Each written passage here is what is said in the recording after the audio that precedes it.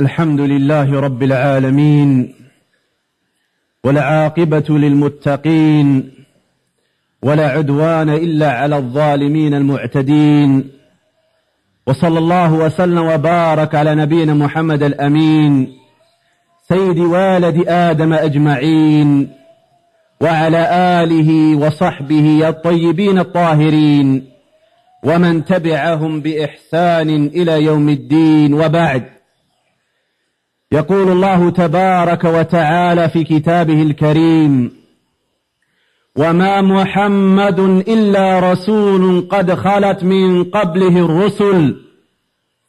أفإن مات أو قتل انقلبتم على أعقابكم.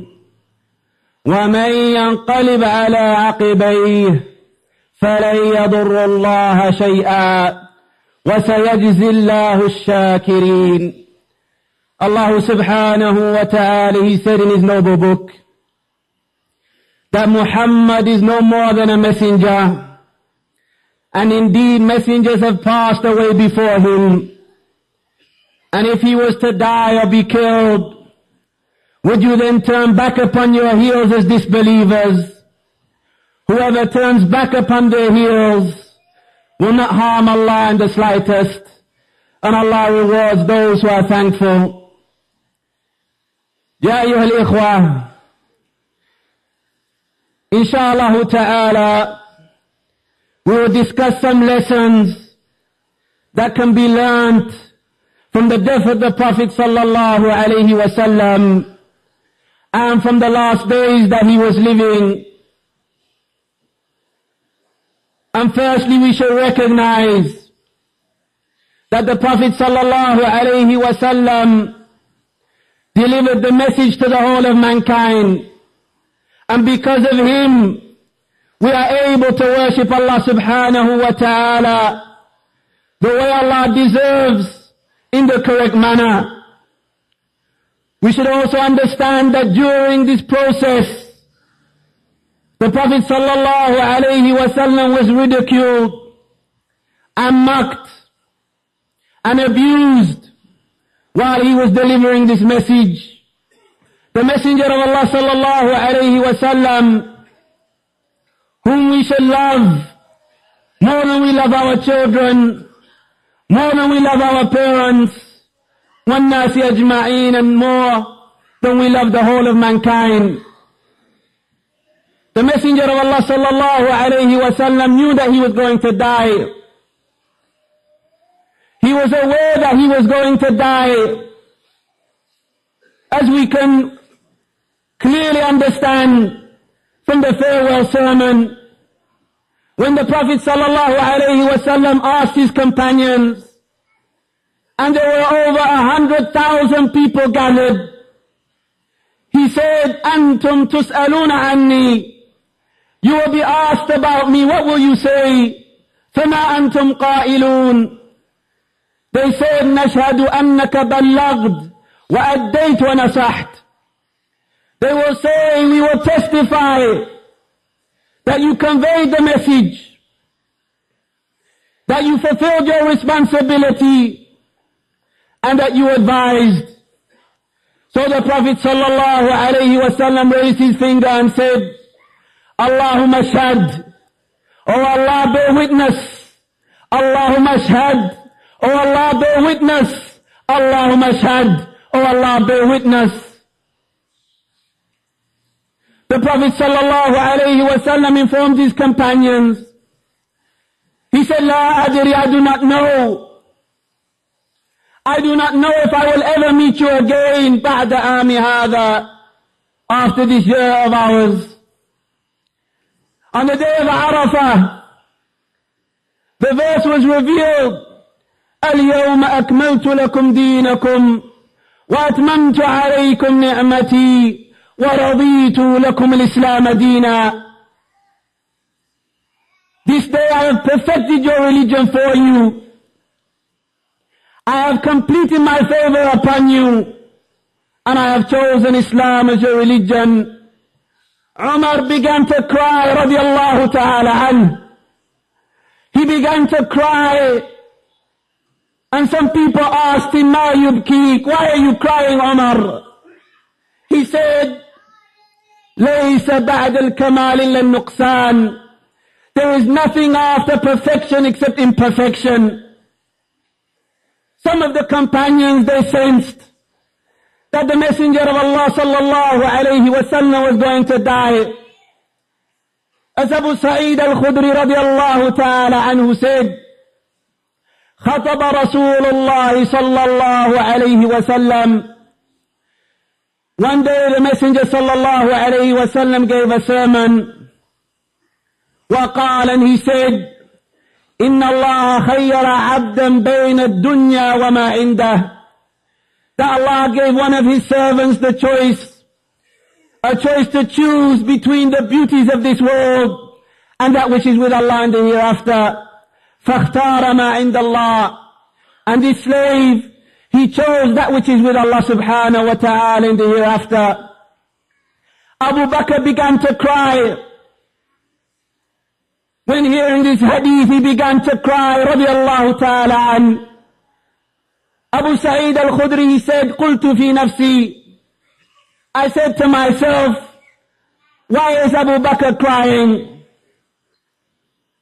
Why is Abu Bakr crying?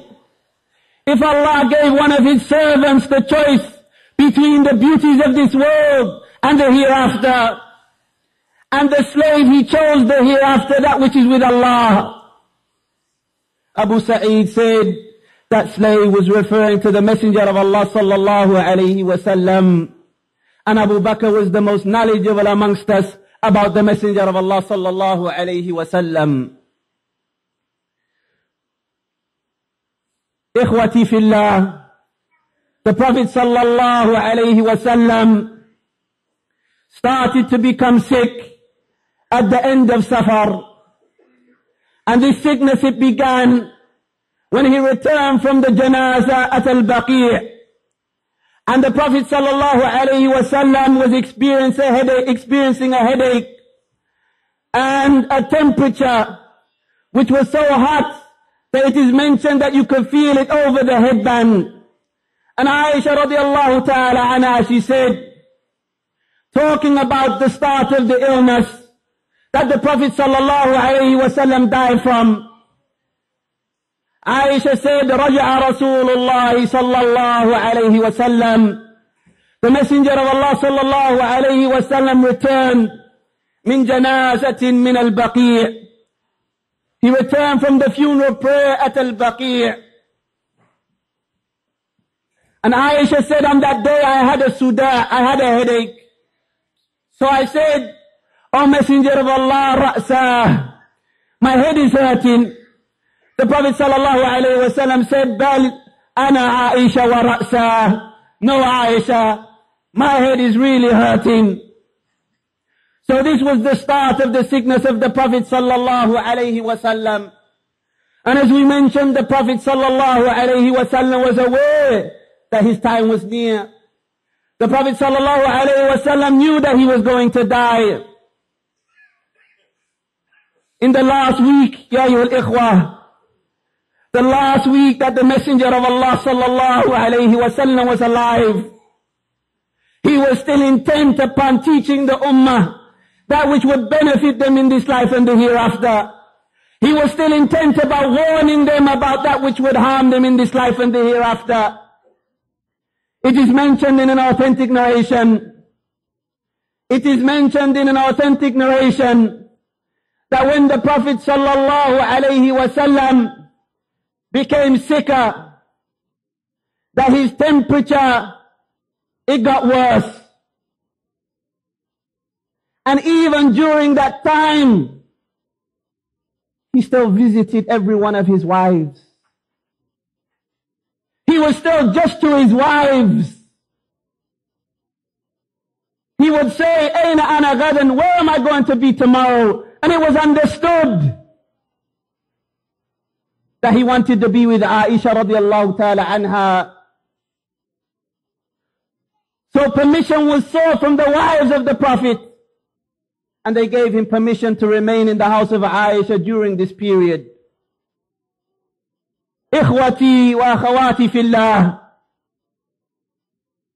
even during the sickness of the Prophet ﷺ, he was still just and maintained his wives and fulfilled his responsibilities. And this should stress the importance to the brothers, ayyul ikhwah, of maintaining your families correctly and fulfilling your obligations. As Allah subhanahu wa ta'ala has given you that position as the leader of the family because it is your responsibility to maintain your family and oversee their affairs. And by way of benefit, some of the people of knowledge, they mention that the man is given this role because he maintains and supports his family. As Allah subhanahu wa ta'ala tells us, الرجال قوامون على النساء The men are the maintainers and the protectors of the women. They are the, they are the maintainers and protectors because they spend upon them uh, from their wealth. Ikhwata, if we look to Wednesday, five days before the Prophet sallallahu alaihi wasallam died, five days before the Prophet sallallahu alaihi wasallam died, he fainted from the extreme temperature that he was suffering from. And even when he fainted, he said, "Hariqu alayya min sab'i qirab." pour upon me seven water skins full of water. Why? Why did he want water to be poured upon himself? Why did he want to wake up? Why did he want to go outside? He said, لَعَلِّ أَعْهُدُ إِلَى النَّاسِ So that I may go to the people and address them. So that I may go to the people and address them. The Prophet sallallahu alaihi wasallam went to the people and he advised them about some aspects of their religion. He told them, La'natullahi ala al-Yahudi wal-Nasara. Allah's curse is upon the Jews and the Christians. اتخذوا قبور أنبيائهم مساجد. They've taken the graves of their prophets as places of worship. The Prophet sallallahu alayhi wasallam, ikhwan, even on his deathbed, was advising the people calling them to worship Allah alone and stay away from a shirk. This shows that we should continue and struggle to learn the rights of Allah subhanahu wa ta'ala upon us. The Prophet sallallahu alayhi wasallam was addressing who? The most knowledgeable of the people about the religion, the companions. And he still called them to the worship of Allah and warned them about a shirk. This is a clear refutation upon those people that say you can learn Tawheed in one day. So we should always struggle and fight to learn the rights of Allah subhanahu wa ta'ala upon us. None of us can afford to be ignorant about this. And let us not be haughty and arrogant and believe that we don't have to study no more because we know. Ikhwati fillah, the Prophet sallallahu wasallam on Thursday, four days before he died, four days before he died, again, the sickness was getting worse. His state was becoming more severe. He was becoming weaker, alayhi salatu wasalam. Even during this time, when he was fainting, he still tried to go and pray the prayer in the jama'ah, in congregation. He said to one of his wives, Asalla nas, after he fainted, he woke up. He said, of the people, have they prayed? They said, La, no, they are waiting for you, O Messenger of Allah. He said, ma'an, prepare for me some water so that I may wash and go out to pray with the people. They prepared the water for him. He washed. He got up to go out and pray and he fainted. This happened once and it happened twice. And some of the people say it happened three times. The Messenger of Allah sallallahu alayhi wasallam, even during this point in time, he tried to go to the masjid. Where are we from the guidance of Muhammad sallallahu alayhi wasallam when we attend the masjid only on Yawm Jum'ah? How far are you from the guidance of Muhammad sallallahu alayhi wasallam when you are able men to attend the Jama'ah, the congregation of prayer, and you only attend upon Jum'ah? The Messenger of Allah sallallahu alayhi wasallam, when he was dying, he strove to pray in the Jama'ah. And as for you, Ya ayyuhal akh, you only attend on the day of Jum'ah. Ikhwati fillah The Prophet sallallahu alayhi wasallam, the best of mankind, understood the importance of the congregation following the command of Allah subhanahu wa ta'ala, وَارْكَعُوا مَعَ الرَّاكِعِينَ and bow along with those people who are bowing in prayer. This was four days before he died, when his sickness worsened. And obviously you know this incident, it will require many sittings and gatherings to give it its full right. But let us go and look at the day the Prophet wasallam died. Let us look at the day the Prophet wasallam died. As we mentioned, he died in the house of Aisha radiallahu ta'ala anha. The wives of the Prophet sallallahu alaihi wasallam, the wives of the Prophet sallallahu alaihi wasallam, they cared for him. They treated him. They served him throughout his sickness. This shows that marriage ends in one of two ways. Divorce or death. If we want our marriage to be compassionate, if we want to have a companion until we die, then let us follow the guidance of Muhammad sallallahu alayhi wasallam. The wives of the Prophet sallallahu alayhi wasallam treated him as in the hadith it's mentioned, لَدَدْنَاهُ فِي مَرَضِهِ that we put medicine in his mouth when he was sick sallallahu alayhi wasallam وجعل يشير إلينا and he started pointing to them saying don't give me any don't give me any medicine and they said قلنا كراهية المريض للدواء this is an example of a patient who dislikes medicine يا أيها الإخوة the day that the Prophet sallallahu alayhi wasallam died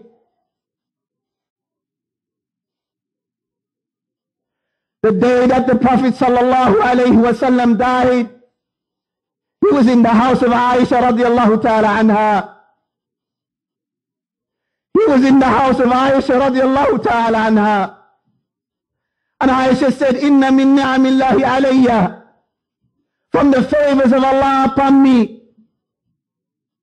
That Allah subhanahu wa ta'ala decreed أن توفي رسول الله صلى الله عليه وسلم في بيتي that the prophet he died in my house in my day and he died between my chest and my neck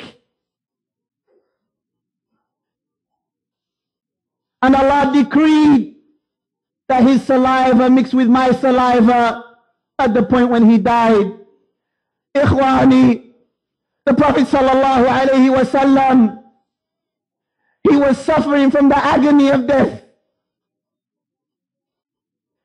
He was suffering from the agony of death. That he dipped his hand into a bowl of water. And he said, La ilaha illallah. La ilaha illallah. La ilaha illallah. Inna lil mawti sakarat. None has the right to be worshipped except Allah. Death is full of agony. The Messenger of Allah sallallahu alayhi wasallam said,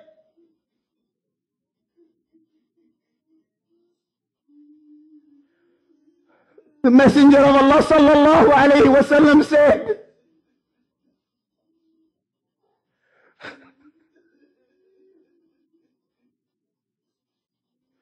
The Messenger of Allah sallallahu alayhi wasallam said, death is full of agony. Aisha radiallahu ta'ala anha said, She said, Inni la akrahu shiddat al-maut. I do not dislike that anyone taste the agony of death After I saw the Messenger of Allah sallallahu alayhi wasallam. The Messenger of Allah sallallahu alayhi wasallam, after he finished brushing his teeth, فرغ من السواك ورفع يده he raised his hand or إصبعه or his finger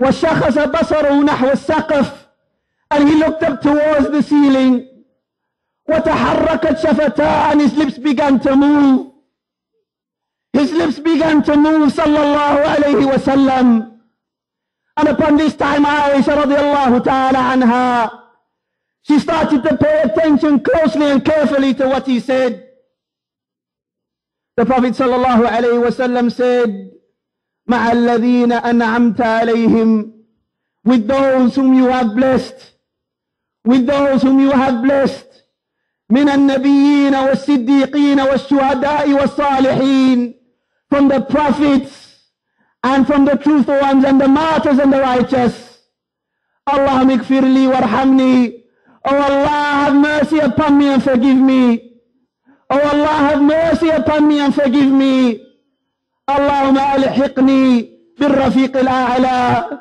Oh Allah allow me allow me to join the most exalted companionship on high. Sallallahu alayhi wasallam the messenger of Allah sallallahu alayhi wasallam passed away. The messenger of Allah sallallahu alayhi wasallam passed away.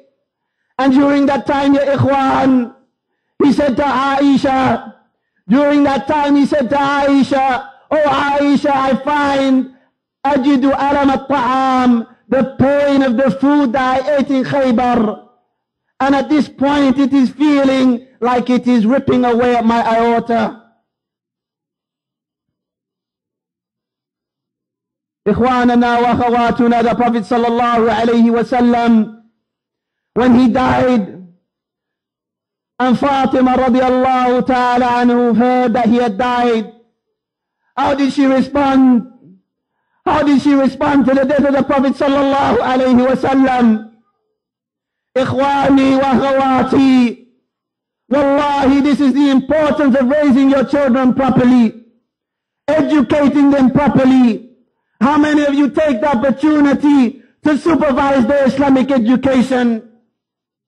Fatima radiallahu ta'ala anha, when she heard that the Messenger of Allah sallallahu alayhi wasallam died, she said, Ya abatahu, ajaba. Oh my father who responded to his Lord when he called him. Oh my father who responded to his call, the call of his Lord when he called him. Ya abatahu, oh my father, ila jannatil firdausi ma'wahu. Jannatil firdaus is his abode. Oh my father we announce your death to Jibril إلى جبريل ننعاه This is how Fatima radiallahu ta'ala anha she behaved when the news of the death of her father had reached us وأقول قولي هذا وأستغفر الله لي ولكم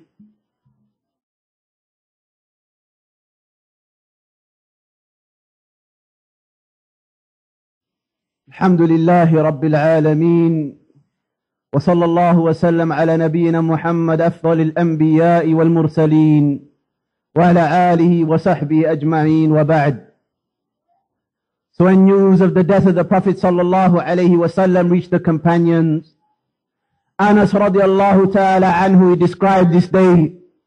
He said, لما كان اليوم الذي دخل رسول الله صلى الله عليه وسلم فيه المدينة أضاء, أضاء منها كل شيء The day that the messenger of Allah صلى الله عليه وسلم entered al-Medina The day he entered al-Medina This lit up everything and everything became bright ولما كان اليوم الذي مات فيه رسول الله صلى الله عليه وسلم أظلم منها كل شيء And the day that the Messenger sallallahu alayhi wasallam died, this darkened everything.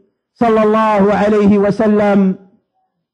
the companions, when they heard this news, when they heard that the Messenger sallallahu alayhi wasallam had died, when they heard that the Messenger sallallahu alayhi wasallam had died, we know how Umar responded.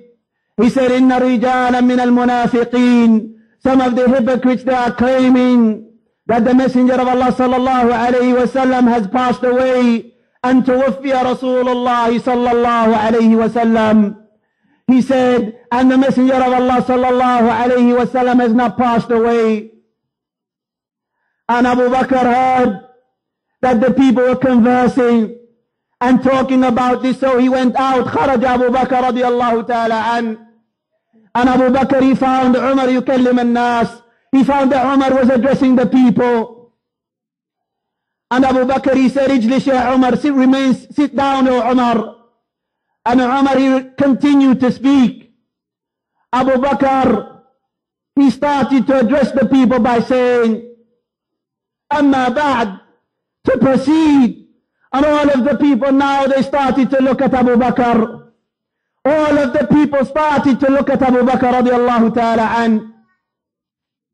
And Abu Bakr, he said, in his famous saying, من كان يعبد محمد صلى الله عليه وسلم whoever worships Muhammad صلى الله عليه وسلم فإن محمدا قد مات Muhammad صلى الله عليه وسلم has died Muhammad صلى الله عليه وسلم has died.